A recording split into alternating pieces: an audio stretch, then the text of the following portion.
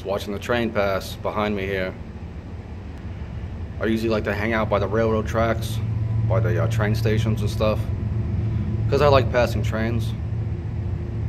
Um, so I was just watching them pass.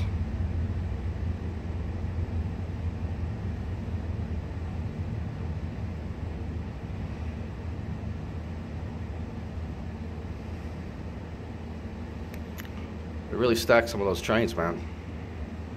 They doubled up on the uh, on the trains. It's a lot of cargo. A lot of shit.